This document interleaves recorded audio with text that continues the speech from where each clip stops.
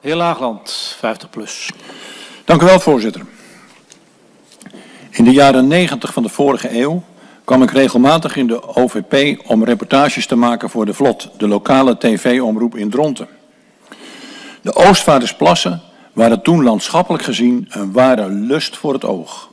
Een schitterend coulissenlandschap met grazige vlakten, struweel, ruigtes, majestueuze bomen, oergezonde grote grazers, enorme biodiversiteit, een rijk bodemleven, kleine zoogdieren en vele zeldzame vogelsoorten.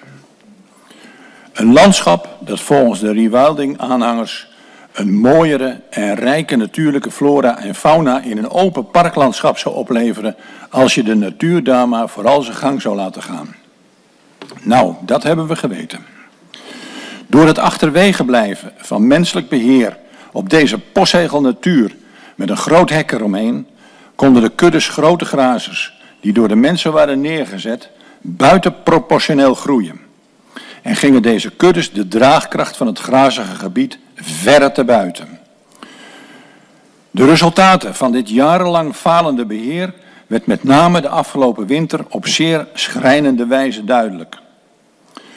Door duizenden hoeven zwartgetrapte desolate vlakte, zonder struweel, met kaalgevreten dode boomstammen, waar al sinds december geen voedsel meer was te bekennen. Zonder kleine zoogdieren en met een sterk verminderde vogelpopulatie en de, de biodiversiteit van een industrieterrein. Maar het ergste was nog dat er maar liefst 3200 grazers in de wintermaanden vaak na ondraaglijk lijden creperend moesten worden afgeschoten op een bestand van 5200. Dat zijn er in drie maanden 35 per dag. Bejaagd met vier zware terreinwagens en opgehaald met een zware tractor met een aanhangwagen waar de lijken in gedumpt werden.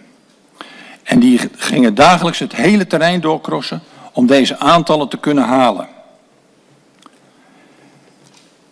En moeten zich eens even voorstellen. Ik hoor hier steeds sociale structuren.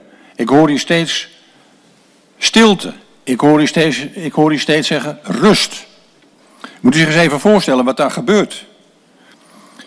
Er, komt komen vier van die terreinwagens.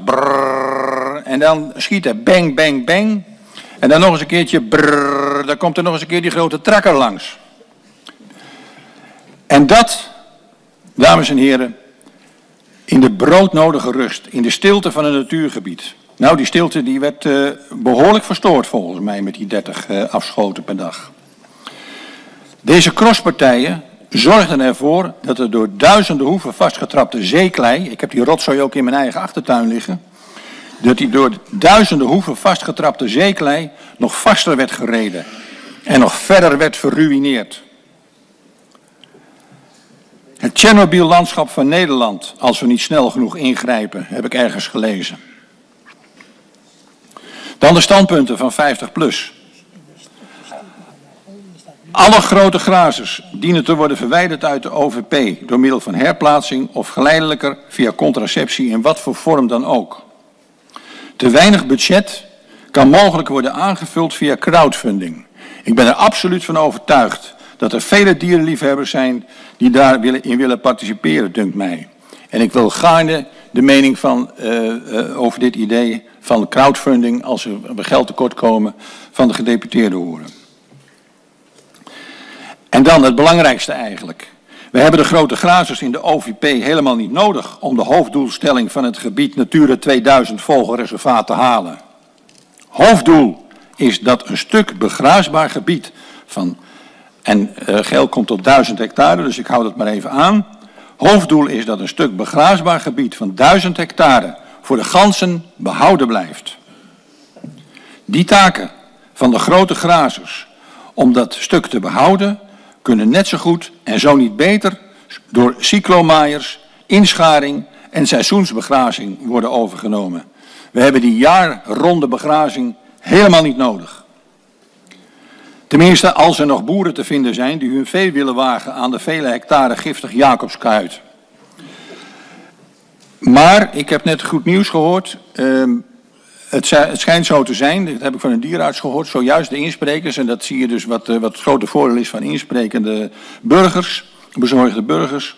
En die wil ik nog hartelijk danken trouwens voor, uh, dat was ik nog helemaal vergeten, hartelijk danken voor hun, voor hun uh, vele bijdragen.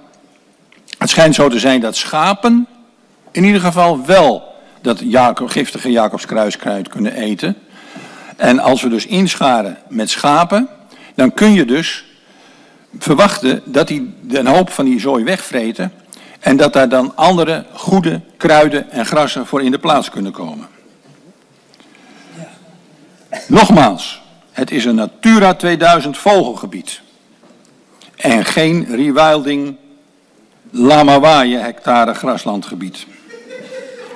En hoe dat in stand wordt gehouden, dat maakt niet uit. Daar hebben we nogmaals de grote grazers niet voor nodig. En indien volledige uitplaatsing niet mogelijk is, dan dienen tenminste alle hekrunderen te worden verwijderd door herplaatsing.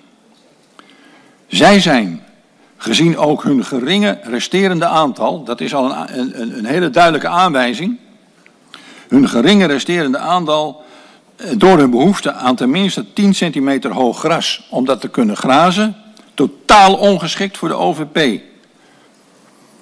De andere grote grazers dienen blijvend uh, te worden teruggebracht tot maximaal 1000 minder 180 afgevoerde hekrunderen. En dan blijvend. Want ik denk dat gezien de hoeveelheden Jacob Kruiskruid en uh, dat soort zaken, dat, dat, 100, dat, dat zo'n zeg maar 800 uh, dieren het absolute maximum is. Hekrunderen door middel van uitplaatsing of op langere termijn via contraceptie.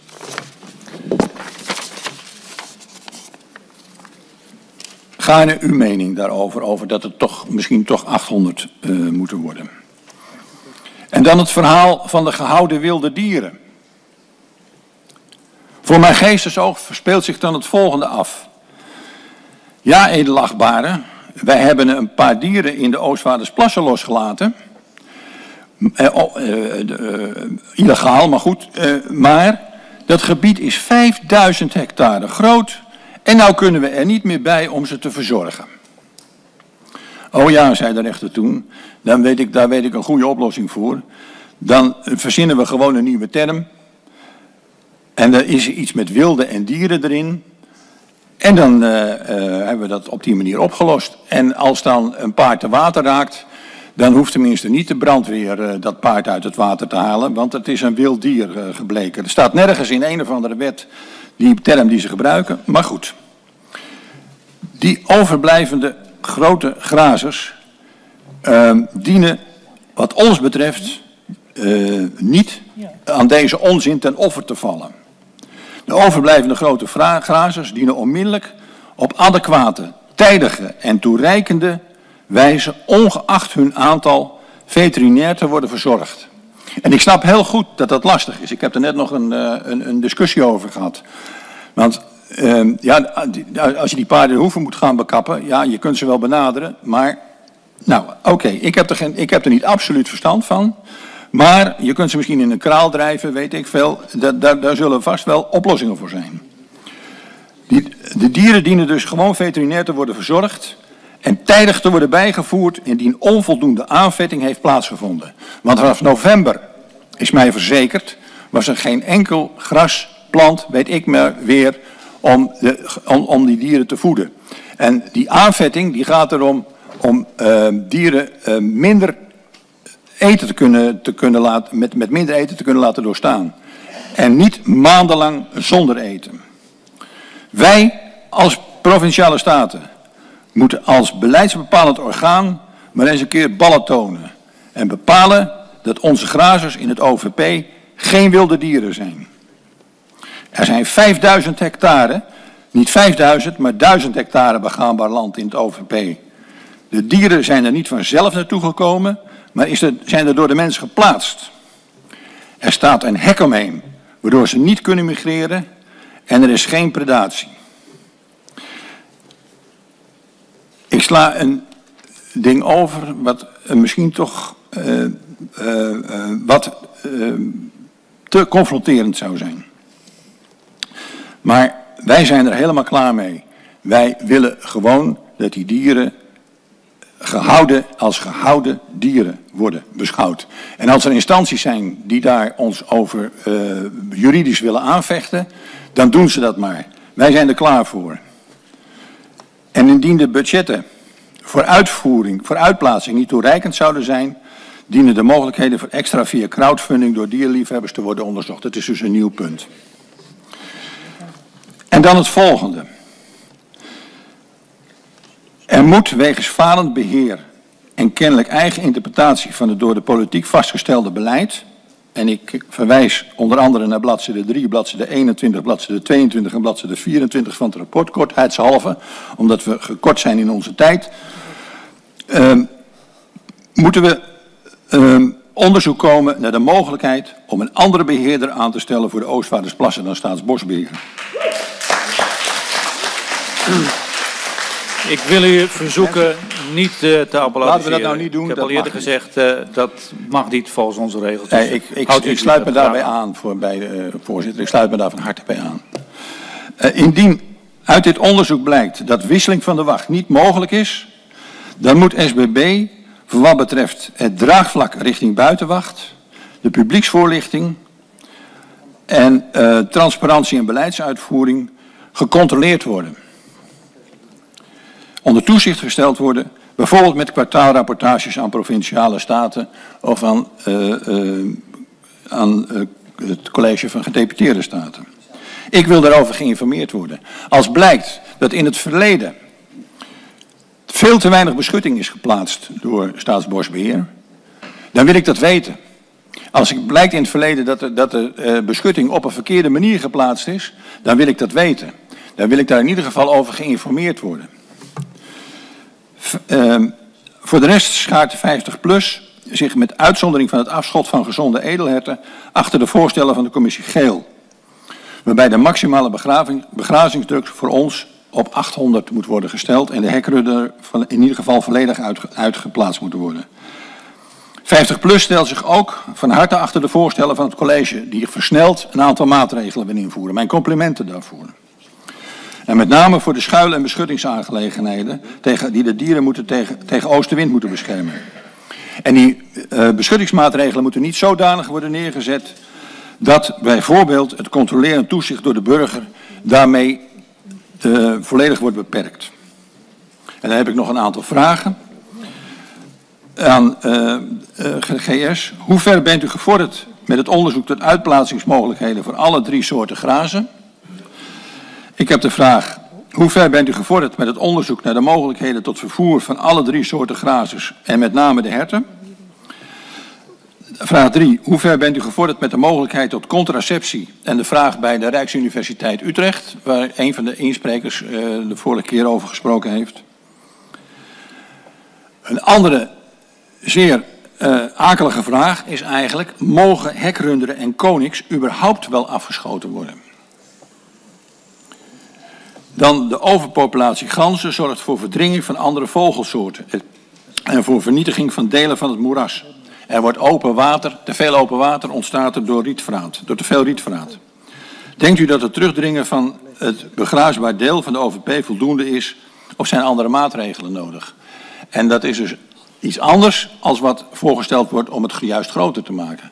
Volgens mij moet het juist kleiner gemaakt worden, omdat door die uh, overpopulatie, die woekering van de ganzen, uh, te veel riet wordt weggevreten. De bestrijding van het giftig Jacobskruid. Uh, heeft u daar ideeën over hoe dat zou moeten? Want er staan, er staan hectare vol met giftig Jacobskruid. Uh, wat ik ook zou willen vragen, en dat is al eerder gevraagd, is om een, een EMI-telling. Om een nulpositie te creëren van wat er nu eigenlijk op dit moment aanwezig is en wat onze maatregelen voor effect hebben. En, ook die helikoptertelling, die, telling, die vind ik een uitermate goede uh, toestand. Uh, neemt u nog actie om de hulpdiensten voor te lichten dat dieren in de Oostvaardersplassen hulp verleend moet worden? Want het zijn geen wilde dieren.